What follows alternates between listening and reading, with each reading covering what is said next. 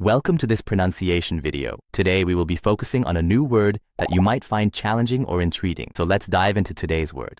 Georgios, which means, A Greek given name, equivalent to George in English. let's say it all together.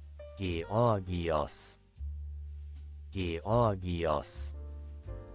Georgios. One more time. Georgios. Georgios. Georgios. Thank you for joining us on this adventure in pronunciation. Remember, language is a journey, not a destination. Keep exploring, experimenting, and expanding your linguistic horizons. We'll see you next time.